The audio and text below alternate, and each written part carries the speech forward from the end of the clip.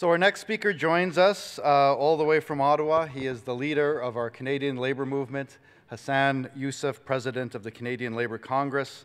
Uh, Hassan has uh, served four terms uh, as secretary treasurer of uh, the CLC uh, and two terms as CLC vice president, and he is completing his first term as president. Hassan came to Canada from Guyana in South America. And as a young, uh, as a young new Canadian, he found work uh, at the Can, uh, the CanCar plant in Toronto uh, and became active in his union, the Canadian Auto Workers. Uh, since that time, he's obviously risen through the ranks and he has established himself as an internationally recognized trade union leader uh, who fights passionately for human rights, the environment, and of course, uh, his central passion, workers' rights. Please join me, join me in welcoming uh, our colleague, our friend, the leader of the Canadian labor movement, Hassan Yussuff.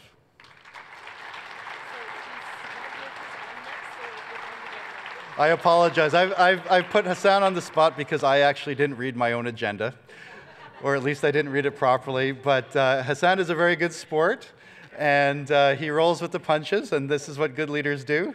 So I've thrown him a curveball, and he uh, very ably has caught it. So uh, please, I apologize, Sad, but thanks for, uh, for joining us today. Yeah, yeah, I don't think he means any bloody thing about apology. Uh, first and foremost, let me um, start by thanking you guys for inviting me. It's an honor to be at your convention especially after the many decades of the hard work to change the direction of this province. I can't begin to tell you when I wake up in the morning and think that Alberta is run by socialists. and I really want to thank uh, Gil. I know that it's much harder being a president when you have a sitting government. And him, Siobhan, and the hard work that has to now go on in regarding to building that relationship and maintaining that relationship because, you know, Given all the years we were denied progress in this province, we're kind of a little bit in a hurry. So I could understand the challenges you face, but I also want to commend you on all the work you're doing, of course, um, and preparing for the many things that's happening in this province. I know that um, it's an incredible journey as we work with the new government in this province, of course, to advance the challenges of working people. You know, and I watched uh, Rachel dealing with the sexism in the legislature and the ongoing, of course, uh, trolls that harass her and speak out. It also reminds us, despite all the good work we have done in our movement, how much more we have to do. Because it's still not an equal world for women, in, not only in this province, but throughout this country and throughout the world. And we've got a lot more to do to take on that issue politically, as sisters and brothers, and we can't allow it, of course, to happen. We finally have a government to stand up for our values in this province, and I can't tell you how pleased I am because it makes some of the work we're doing at the national level that much easier. You know, when Rachel announced that she was going to implement a $15 minimum wage, all the idiots in the world are screaming the world, the economy is going to come to an end.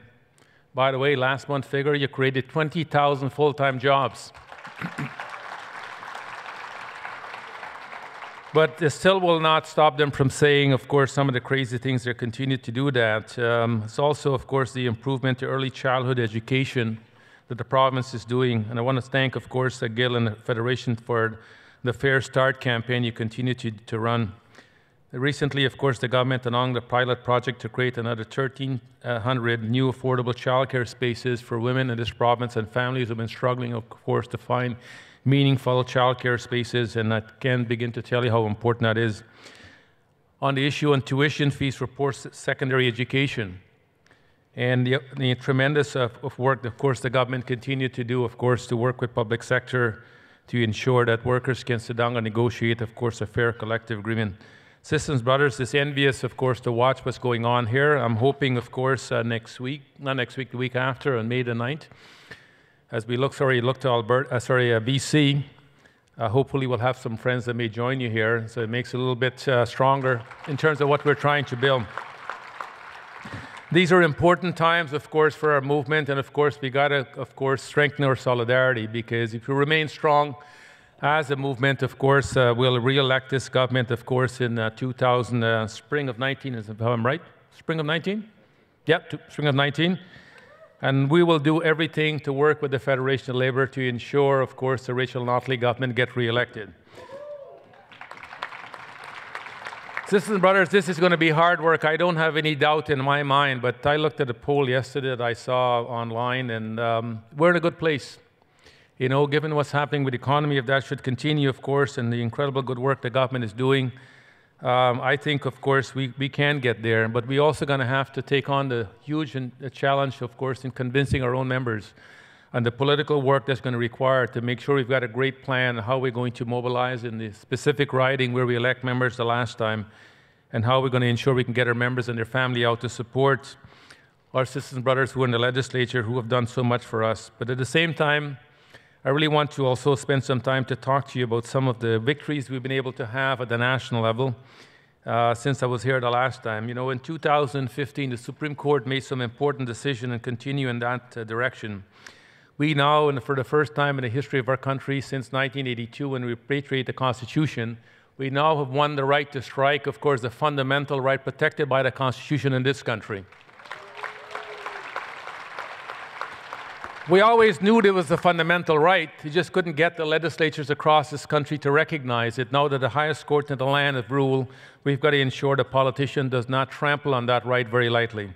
We also run the right to collective bargaining and the right to organize. The right to join a union is now a fundamental right, of course, protected by the Constitution of this country. And I know the work that you are doing here for labor reform is absolutely important. I keep saying every single day, it is no business of the boss to interfere in the right of a worker who wants to join a union, fundamentally. Why should the employer be interfering such a fundamental right that's now protected by the Constitution? Other than, of course, to poison the workplace, threaten workers with their livelihood, and get them to change their minds. If this is a fundamental right, we also need the legislature for workers to sign a card so we can have card checks so more workers can join the labor movement, not having to go through that threat. Why is this important? You don't have to sign a card if you don't want to join a union. But for those workers who make that choice, and it's 50% of one that should do so, the union should be certified in their workplace. We've had that legislation at the national level for 60 years until Stephen Harper took it away. And I'm hoping between now and uh, before we start the CLC convention, we will restore card certification at the national level again. We work, of course, with this federation and the work we did across this country in public hearings and working with the Council of Canadians and a number of other friends across this country to stop this Trans-Pacific Partnership. I don't know if it's completely dead, but it's dead for now, and I think we should celebrate that victory. And sisters and brothers, we've been working on something which has been very much a challenge to our movement. For decades now, we've struggled, of course, to get the federal government to ban both the import and export of asbestos. Last year, December the 15th, the federal government finally announced they will bring in a comprehensive ban to ban both the import and export of asbestos, a substance that kills some 200 Canadians in this country every single year. No fault of their own. They went to work. The workplace could have been contaminated, like somebody like me who was a mechanic worked with asbestos. And of course, this will continue for some time yet because if you have asbestos embedded in your lungs, you can't get it out. And of course, that stats has been continuous to climb. 2,000 Canadians die every single year. We've been working, of course, to get the government to have a national registry for all federal public building, own or lease that contain asbestos. So the workers who work in those facilities should know, have a right to know. we also try to get them to sign on to the Rotterdam Convention. This is an international convention that will list the asbestos that we used to produce, chrysotile asbestos, the carcinogen. Right now, of course, the conference is taking place in Geneva, and last Friday, the federal government announced they will sign on to that convention, the first time in the history since that convention has been established. This is, of course, an important victory for working people because it will make workplace safer in the future, but we've got a lot more work to do. Your federation, along with Gil, of course, uh, we have worked for over a decade to expand the Canada Pension Plan. In June of 2016, the federal government announced a 33% in the increase of the Canada Pension Plan starting in 2018. That's our victory, my friends. That's our victory. This is the first time in 50 years we're increasing the Canada Pension Plan. Who will be the greatest benefactors of this? Are the young people who are starting out to work today. Many of them who are not fortunate to work in a unionized environment and may not likely to have a workplace pension. My daughter is likely to be, be, be the greatest benefactor. She's eight years old. By the time she gets to an adult and she starts working, I don't know what her future is going to look like. 11 million people, by the way, go to work every single day in our country and don't have a pension plan other than the CPP. 11 million. 66% of the workforce in this country. And the work we took on for eight years was absolutely the hardest work we've ever done. We had to build public support for this work. We had to build political support for this work. And more importantly, we had to bring the federal government on side. We had to, of course, educate our members. It was one of the best campaigns I think we took on in the history of the Congress. I can't begin to tell you the importance of that victory because it also makes workers in this country recognize it is a labor movement who has the capacity and the leadership to fight to improve these public policies. It's maybe the biggest social victory we've had in decades in this country, what we were able to do. The same time, in 2016, the federal government keep their commitment, which we have lobbied them hard and got them to put in their platform, is to roll back OAS and GIS from 67 to 65. An important victory for working people again. And they did one of the most important things that I'm very proud of. They gave the poorest citizen in our country, the moms and the dad, the grandparents who have worked their lifetime in this country to help build Canada, who are getting GIS, no fault of their own. They gave them a 10% increase in the GIS payment. I happen to know one of those recipients. She's my mom. This year she will be 93 years of age. She got a $73 increase in her paycheck. And I know what, she was sitting there at a Thanksgiving table and asking me a question saying, I got an increase in my GIS check. Do you know anything about it? I said, No, I haven't got a clue, Mom. I think the government think you deserve a raise, and from where I sit, I think you deserve a raise. But you know the important thing about that? for all these seniors who got that increase, every penny of that money goes right back in the economy. It's not going to be held in some foreign bank account. These are the people who helped build this country. We owe them a debt of gratitude for their sacrifice to make this country a great place for all of us.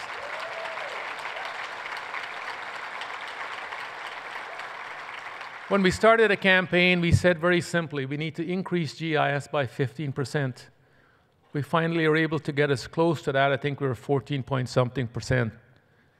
And we took that on because we recognize we have the capacity as an organization, as we talk about fairness for all Canadian workers. What we wish for ourselves, we desire for all. And the only way you can do that is by the campaign we were able to run to make that happen. Sisters and brothers, very shortly also, the legislation is back in the House because the Senate did an amendment to what is called Bill C 4, uh, to get rid of Bill C 377.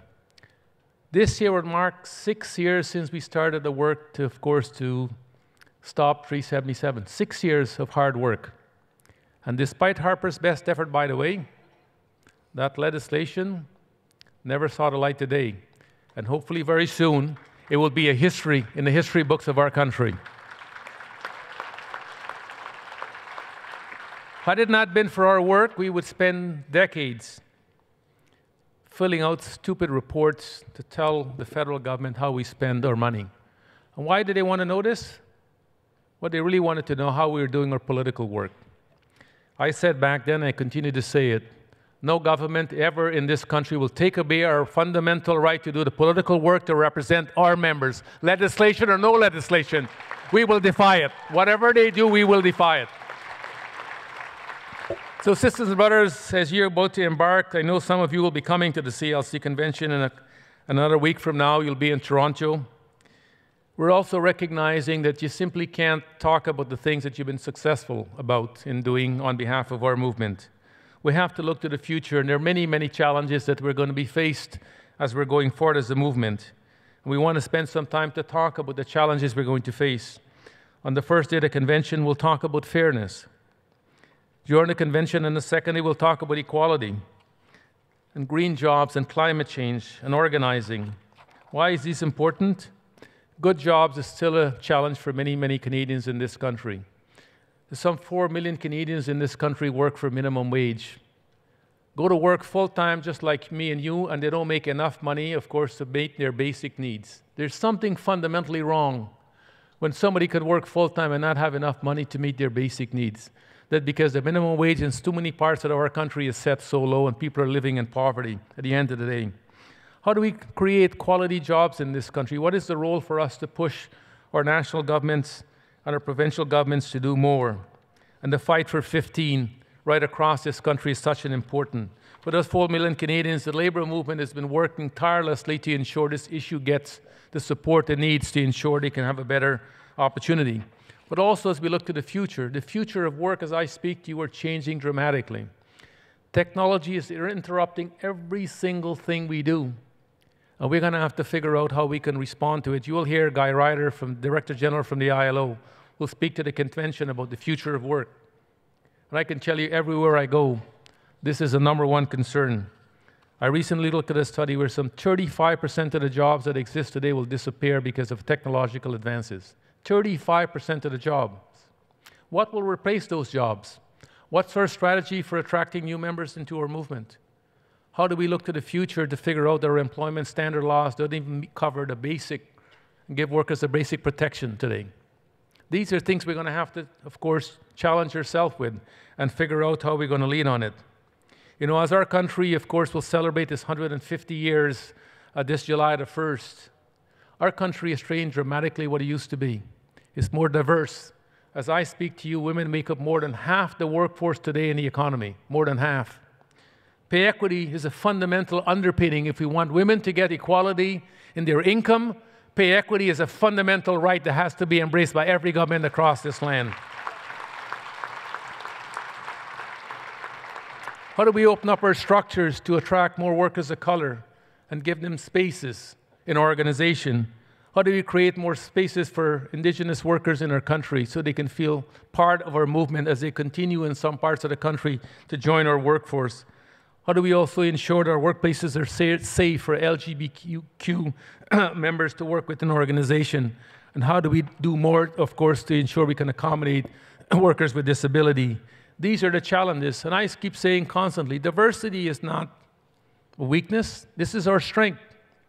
If we can embrace it and build on it, we can grow our movement and make, of course, our movement that much stronger. you know, right here in Alberta, you're having a very, very important debate, and that debate is about what is the balance between natural resources exploitation and the environment. I always believe there is no contradiction with these two issues. The environment and, and of course, resource are two things that can exist, coexist, but at the same time, we also have to deal with the most fundamental challenge of humanity we've ever had to deal with climate change. It's not something you can wish away like that idiot in the United States talking about clean coal. There is no such thing as clean coal. There's coal. And of course, it creates some huge hazards for the environment. The reality is we need to build a different kind of economy going forward that's going to look at how we can deal with transitional issues. How do we retrofit all the homes in our country that was built way back when we didn't have the technology and the kind of things that we know today that could make a house much more efficient? How do we expand our public transportation system across this country? And why in 2017 are we still riding on a railway system that was built back in Dr. Zhivago era? When countries are having high speed rate, they move at 325 kilometers an hour. This is a technology created by Bombardier, yet we can't put that technology in our country.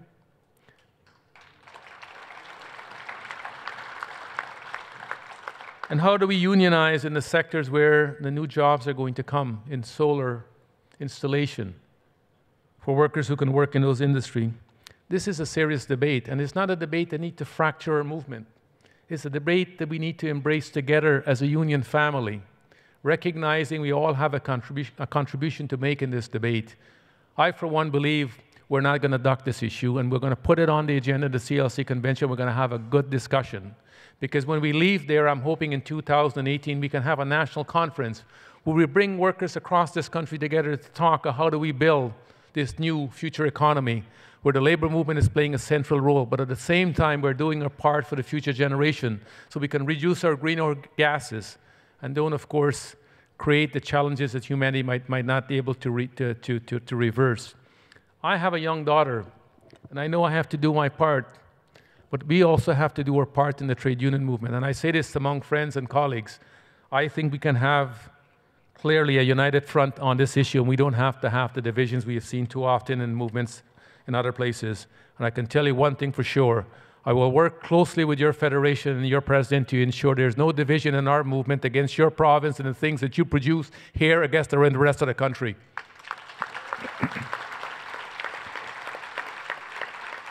the work that you are doing here on just transition for coal workers is fundamental. I have to say, by the way, that's an extremely great document that you have produced.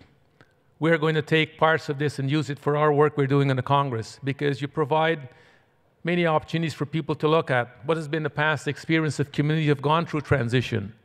How have workers been treated? What happened to those communities? Can we learn from them and do better?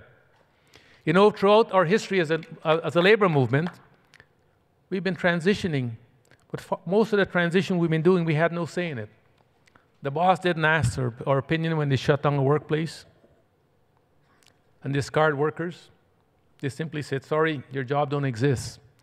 If we have an opportunity to shape the future, we should take hold of that. We can't be outside the room where the debate is happening. We have to be at the room, we have to be at the table. Be an equal voice with the employers and government to say we have something to contribute to this debate. If we're going to meet our target to reduce greenhouse gases, then workers and the labor movement have to be a fundamental part of that debate. Otherwise, it will not, will not happen. The last issue, of course, we'll spend some time talking about the convention is density. We have been fortunate in our country. We're one of the countries that have held density now for over 30 years at 30%.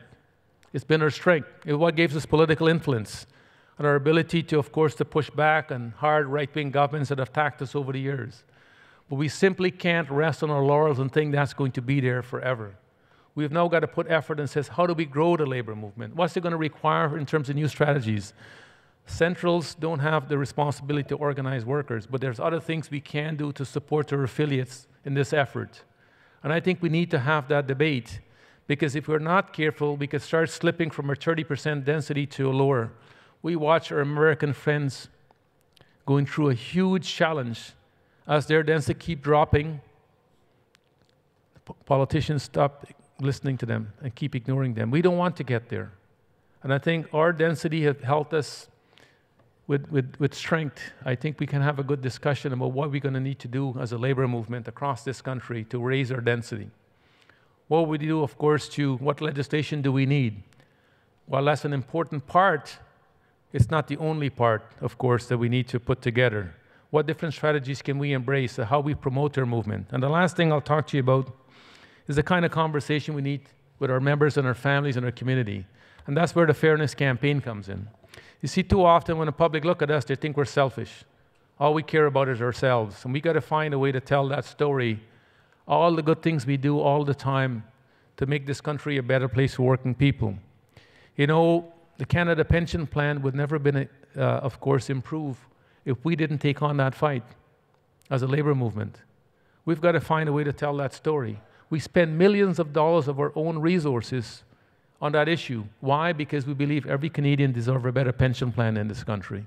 If you spend a lifetime working, you should not have to retire in poverty. It's as simple as that. But also, sisters and brothers, the hard work is a conversation you need to have in the workplace with your co worker, your sisters and brothers who work right beside you, about the value of the union, about their involvement in the union. You see, long time ago, when I was a young lad, when I first joined the labor movement, not by choice, by the way, I joined it because I wanted to get make more money. Didn't come from a union family, didn't know anything about unions, and then somebody asked me to go to a union meeting. And his name was Bill Merlin. He came one time, he said, Sam, there's a union meeting on Sunday at 1 o'clock. I looked at him, kind of, Sunday at 1 o'clock, really? Seriously? I said, no, I don't, sorry, thank you, but uh, I don't think so. A month later, he came back said, we're having a meeting, and I said, Sunday at 1 o'clock. He said, you remember? I said, no, I remember the first time. He said, why can't you come to the meeting? I said, well, it's kind of an issue I got. I said, Well, let me tell you the truth. I get paid on Friday, I get drunk on Friday, I get drunk on Saturday. I recover on Sunday, and I come back to work on Monday.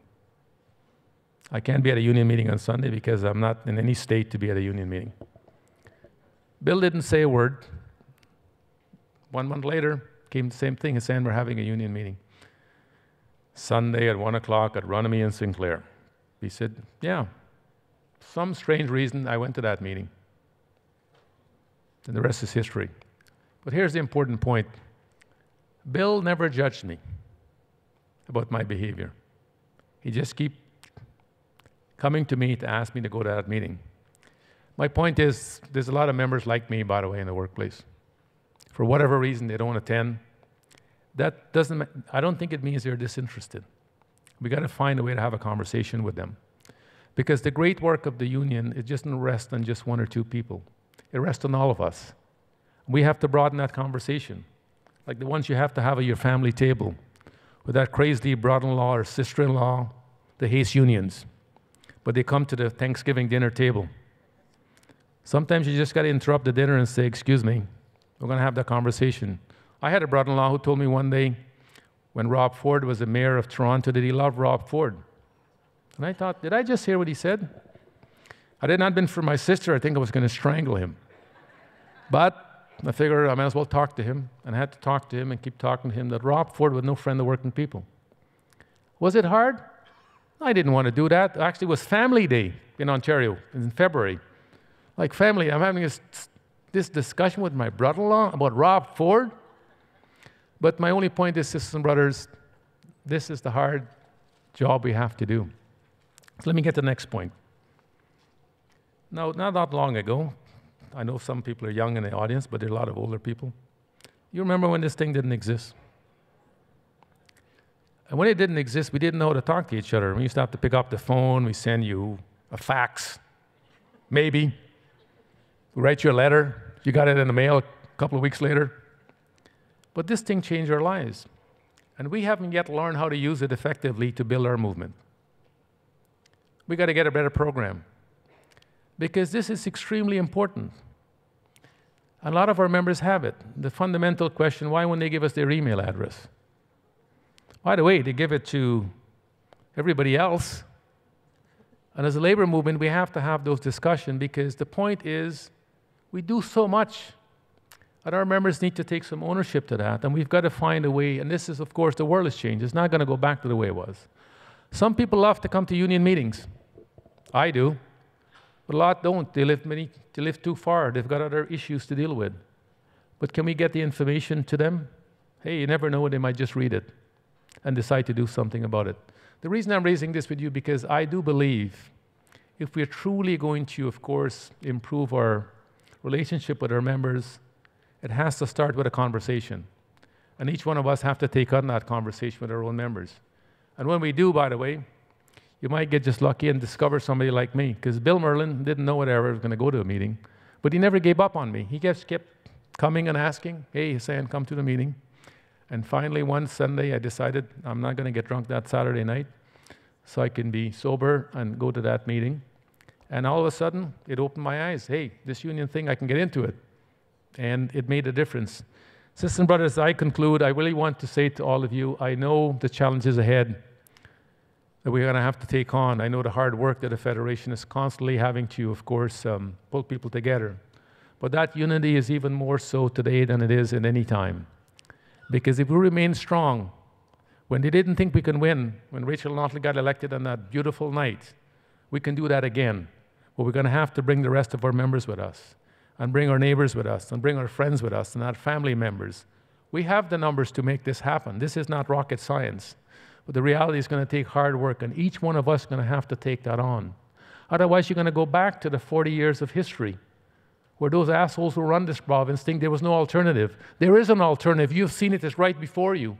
A government, despite the worst economic situation they could possibly find themselves in, they're doing everything to defend the interests of working people because they understand.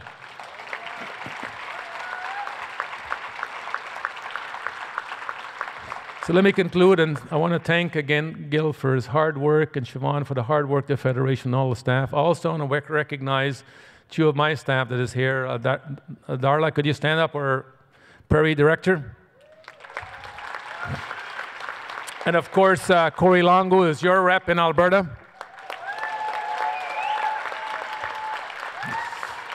Sisters and brothers, it's an honor to be here this week with you, of course, for the, to, to, of course, with your convention and the hard work you'll take on.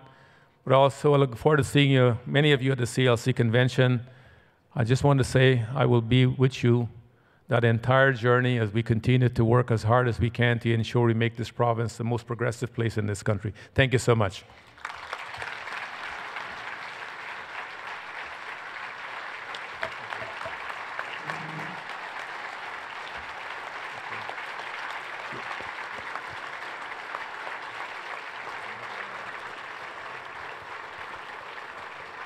Before we let, uh, before we let Hassan go, I just wanted to um, give a couple of personal thank yous to Hassan. Uh, I, I want to thank him uh, for his support uh, as, as a leader. Leader to leader, he's always been there uh, whenever I make a phone call, he makes himself available.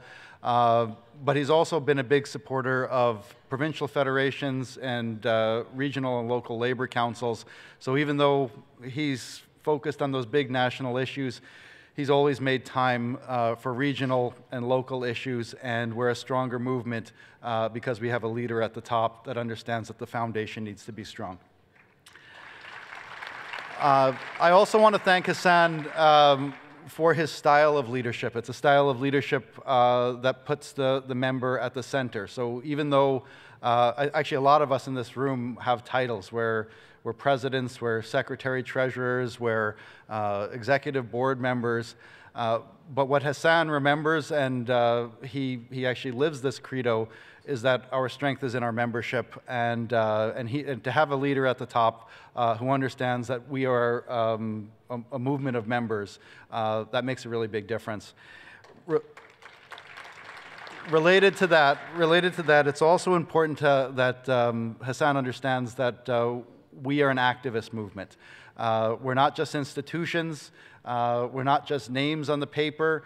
Uh, we have real power and real potential power, but we only mobilize that power uh, by coming together, uh, educating our members, mobilizing our members, and engaging in activism. That's our real power, uh, and we can change the world with that power. And it's really important to have a leader at the top who understands that. And so, finally, I want to thank I want to thank Hassan for his friendship, for his leadership, uh, his willing to pursue.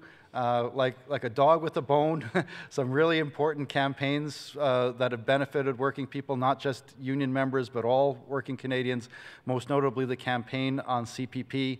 Uh, this is a campaign that uh, Hassan has taken the lead on uh, for more than a decade, and, and this year it bore fruit. So I just, on behalf of our federation, I want to thank you for taking the lead on that campaign. And, uh, and, and finally, I just want to say that Hassan's always looking for the next thing. We won on CPP, uh, but now he's agreed uh, and he's played a leadership role in embracing a campaign that was actually initiated by the, the nurses uh, to make uh, our next big push as a labor movement uh, to win a universal national pharmacare pro- program in this country. And that's something that the nurses have been talking about for years, but under Hassan's leadership has now become a priority of the entire labor movement. So, so thank you for being here. Thank you for addressing our, uh, our delegates. Thank you for your leadership. And on behalf of our delegation and our federation, we wish you the best of your luck, luck in your convention next week. Okay, thanks.